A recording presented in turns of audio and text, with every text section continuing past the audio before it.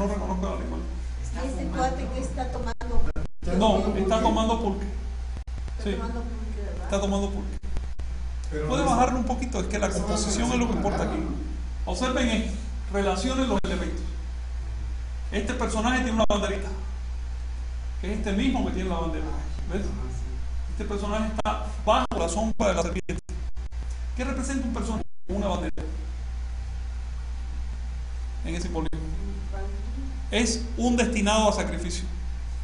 Es decir, la- cuando había torneos gladiatorios, a los que iban a participar iban con banderas. Y esa bandera representaba que probablemente murieran ahí. Lleva corazones ahí arriba. Lleva los corazones, sí, claro. Es, es un empleado sacrificial. Este, y ese personaje destinado al sacrificio somos nosotros mismos. Es una alegoría de la condición humana como hijos de Mayagüez. Lo que tiene ella en su cabeza es algodón. Eh, sí, todo esto este algodón. son franjas de algodón ya pues este, estirado pero sin hilar todavía. El, el- este, el hilo de algodón representa, es el hilo de la vida, es el enlace entre Coatlicue y el ser humano hasta su final. Y el algodón en rama eh, sigue representando lo mismo, pero es todavía más natural y más de atrás. Es, un, es una alusión a, al origen, a las causas de la existencia. El algodón en rama se relaciona, por lo tanto, con las deidades femeninas. Entonces sus lazos Sí. son de algodón. Es lazo. Esto es una cuerda, es una cuerda simplemente. Lo que vale aquí como símbolo es la cuerda, lo vamos a ver ahora en una o dos láminas. ¿Le puedes pasar? Esta lámina es eh, reflejo de una que ya vimos, solo que los seres humanos en vez de salir están entrando, están Ah, regresando. sí. Sí. Y en vez de tener aquí el aspecto femenino, tenemos el aspecto masculino de la misma deidad que es Tlaloc. ¿Sí? Es un retorno a. En el centro vemos. ¿Qué cosa? El mismo chiquipile que representa el merecimiento con un glifo Teocuitla Ponce, este, que representa qué número? 8000. 8000 significa la cantidad preciosa por excelencia porque es el cubo. Hace el volumen, es el cubo. El 8000. Entonces, 8000 quiere decir no solo una gran cantidad, y está, eh, las cantidades tenían este significado. El 20 está relacionado con lo humano, el 400 con lo celestial y el 8000 con lo divino. Por eso las estrellas estaban ordenadas en bloques de 400, lo cual refleja el hecho de que hay 400 a la vista eh, para cada rumbo. un poco lo de los censos Sí. 400 subían A cada rumbo hay 400 y eso es lo que, lo que vemos realmente. Y en cambio el 8000 está relacionado con la deidad. El 8000 forma el cubo esta, y está relacionado con el monedero. El monedero, por supuesto, contiene símbolos de valor o de transferencia. Entonces el 8000 es la cantidad del valor por excelencia. Este, diferentes ofrendas, este, el desdoblamiento de Tlaloc como deidad de la fecundidad, pero en este caso está recibiendo al ser humano que cargado de símbolos, de símbolos de victoria y de merecimiento.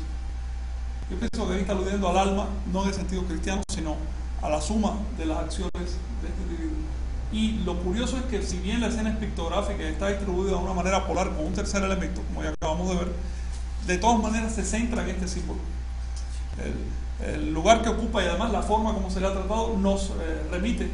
Y este símbolo es, una, es un monedero, pero que de él sale una serpiente, una cabeza de serpiente. ¿Puede pasarle? Perdón, la otra Sí. es. No, son dos apocaciones de Tlaloc. Ah, ok. Claro. Mira, el, el rostro de Tlaloc es una serpiente, que es forma de glifo del número. Y el significado de lo que tiene en el brazo, eh, ¿Quién? ajá, es un serpiente, una serpiente. ¿Dónde? No El, distingo. el, el cetro, ¿cómo Ahí. se llama esto? Ah, eso se llama Shonequili, quiere decir un rayo, y es el aspecto fecundante. Él representa pues la generación de las cosas, la fecundidad de las cosas, pero para que las cosas fecunden tiene que haber un acto eh, simbolizado con el rayo masculino de fecundación. Así que representa las dos cosas, la nube y el rayo, el agua y el fuego. Por eso su glifo, que es Kiawit, si bien significa lluvia, en realidad ustedes saben que eh, le da el nombre al sol de fuego.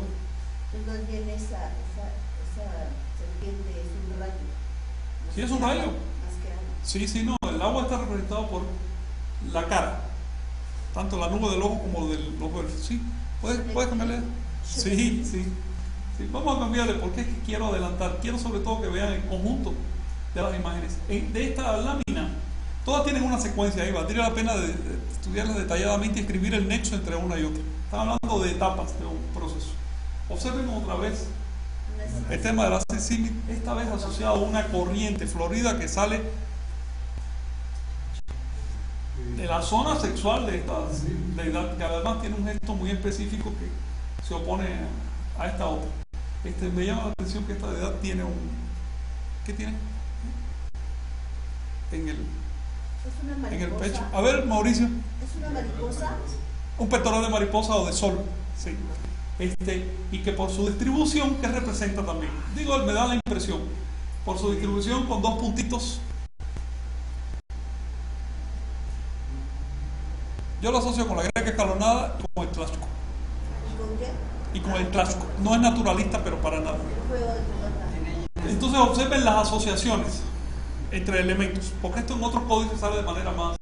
¿Qué ibas a decir, Vicente? Es que ahí se ven las estrellas, viste ahí. Ah, sí, tiene el glifo de Tianquistli. Bueno, de hecho es la cabeza del dragón, mira lo que. Pues está interesante porque en el, este, hay una constelación ¿no? que se llama. Cierto. Ah, pudiera ser, fíjate. De hecho. Tiene aquí un glifo que es el glifo de qué?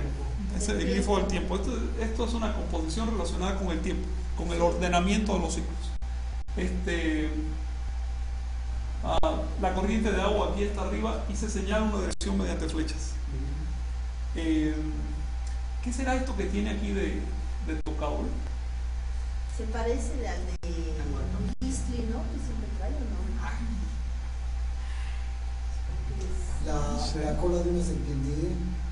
Ah, se me hace la cara de un bicho o algo, y tiene un ojo. Sí, de hecho tiene Colmillos. pico, ¿verdad? Es como de Eso no sé lo que es, ¿eh? Como una por Como pregunto. una ave es esa. Pero azul, quién sabe, puede ser la cabeza de como un- quién sabe. No sé si es un ave. Está raro, ¿verdad?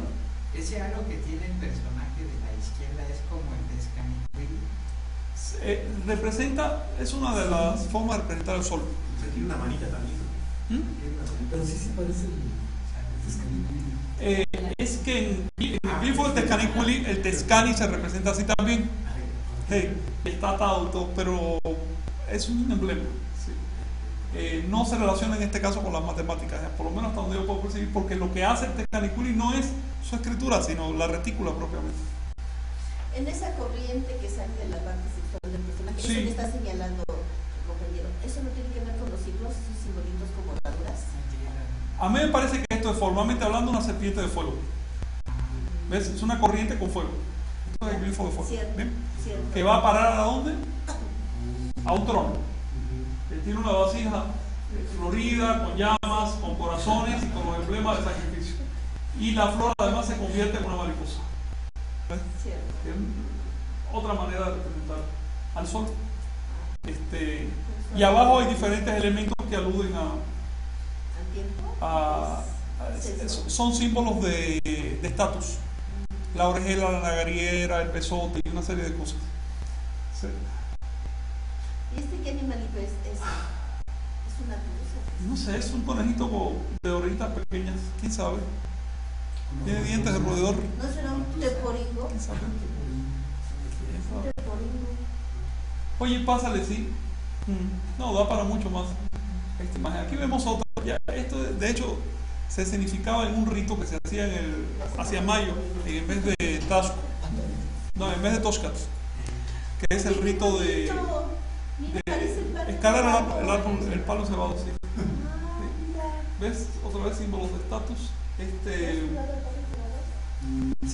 y este palo se clavaba, era un árbol, se clavaba el día del paso cenital del sol, del primer paso cenital del sol del año, y se velaba hasta el segundo paso cenital, que eran 80 días. Paso la zona correspondiente, la latitud correspondiente. Pero- Y se hacían competencias de subir para agarrar una pluma que había ahí arriba de. ¿Ves? Pero Sí. parece que eso está de noche, ¿no? Parece el símbolo Sí, de hecho es simbólico, esto no es lo literal, literalmente se hacía esa ceremonia. Pero esto es un símbolo, es el símbolo de ascender el eje cósmico, de ascender el árbol, es el árbol de tamaño ancha, para llegar El al punto donde se unen las espinas floridas, el símbolo del, de, de la conciencia y el símbolo de la noche. ¿Ves? Un punto donde se une todo esto formando además un quincunce. Que además acá a la derecha está mi Kistli, ¿no? Miquistli, sí. Son dos advocaciones de Miquistli, de Mictlatecutli. Este, otra vez vemos la símil aquí. Observen la relación entre el ser humano y esta madeja de algodón. De ahí venimos, ahí vamos. Y todo esto ocurre en, el- en la noche, en el cielo nocturno. Y aquí él se lo está tragando una bola de algodón. Sí, de eso acabo de hablar. Observen la relación. Esto, por supuesto, forma una polaridad con esto. Este es el cuerpo, esto se lo trae a la tierra, este es el punto funerario. Ya, Y esto es lo que regresa a esa madeja ya. de algodón de donde venimos. sí. Aquí la vasija está hacia arriba, de todas maneras sale el agua. Hmm, Así es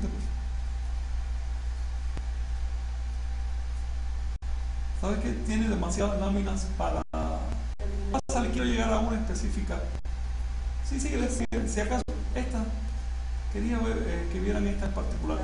Ustedes se fijan que esta lámina lo dice muy claramente, que hasta ahora estamos viendo alusiones a el proceso de nacimiento de la criatura, el desarrollo de la vida, en la adquisición de merecimiento por deter- determinadas prácticas, lo que pasa en la muerte, lo que pasa después de la muerte. Es más o menos lo que está diciendo esa secuencia.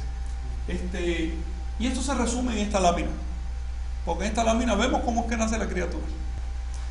Eh, observen lo que tiene en la mano, en las manos.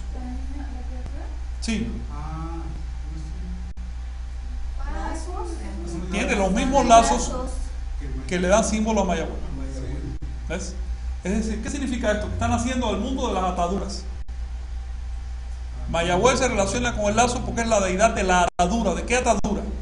De la de los sentidos. De la atadura de los sentidos, que es la que ata, la, nos ata con la realidad.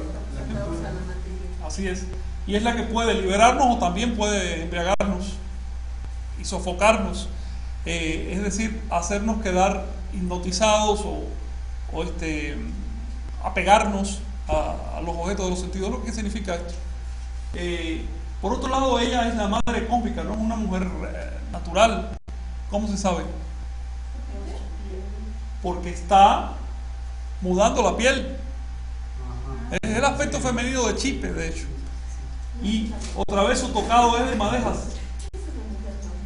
Bien, Así que de esa madeja está viniendo el niño a una manta, que es su falda de papa, que se compone de dos partes, roja y negra, es decir, luz y oscuridad, tono nahual, etcétera, con glifos de ambas partes de luna. De una manera, digamos, astronómica, diríamos que son fases eh, luminosas y, e invisibles de la luna, pero que aluden a qué? A los ciclos. Los ciclos están relacionados específicamente con el acto de nacer y con todo lo relativo a la concepción, porque es el aspecto animal de nuestro ser y una característica de lo animal es su relación o su atadura con el ciclo. ¿Ves? De hecho, los ciclos se enlazaban entre sí a través de qué palabra? Molpili, atadura, atado. Sí. En general, este, eh, ¿no tendrían ellos el concepto de que cada fase de la luna formaría alguna parte interna de los seres humanos? Ahí no me meto, es muy posible. Es muy posible. La luna se relaciona con el acto de nacer. por la desmembrada. Sí. De hecho, el 9 se relaciona con la gestación humana y eso solo se puede entender en el contexto de nueve lunaciones, puesto que los meses eran de 20 días, así que no se puede entender desde el punto de vista del calendario en sí, sino de lunaciones. Este, así que debía haber todo tipo de. Ahora bien,